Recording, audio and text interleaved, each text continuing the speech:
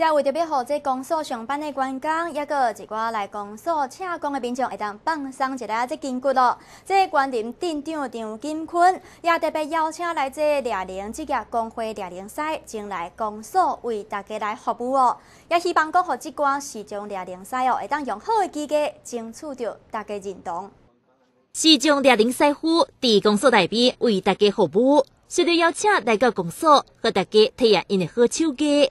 被这进来猎人的民众，一个公所的职员，大家拢感觉这专业猎人师傅手艺实在是相当好，聊完了很是相当的舒适。啊，我们今天哈园林镇公所特别请到我们彰化县按摩工会哈，我们的陈正坤陈理事长哈啊带领他们啊的会员哈来到我们园林镇公所哈啊来为民服务了哈啊顺便也让我们呢园林镇公所一些啊我们的基本啊。员工啊，能够在疲劳的过程中啊，得到疏解哈，也照顾到他们自己的身体。我相信呢，很多民众来到镇公所加工了哈，啊，觉得我们公所这边的啊人员服务也很好，所以就有人建议说，哈，镇长是不是啊，慰劳一下我们的园林镇的啊员工啊？那我们就今天特别啊，请到我们的啊工会的按摩协会的。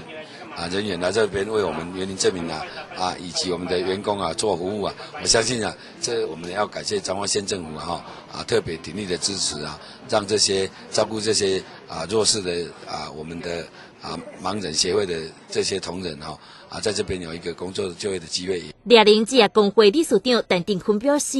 今摆猎人市场真竞争，或者原本都已经是真弱势这市场猎人师傅，现在更加弱势啊。伊希望透过这款公开服务，用这免费的方式，和大家了解到因的好机会。市长专业按摩师，大家拢经过专业训练，啊，通过政府考试有合格按摩执照，啊，今日来到咱万宁定公所来为大家，来这洽工的民众，也是咱公所这员工做免费的按摩体验按摩安尼吼，啊，借这个机会嘛，要来推广咱视障按摩，啊嘛希望咱社会大众。你老需要要两年，就要找这上专业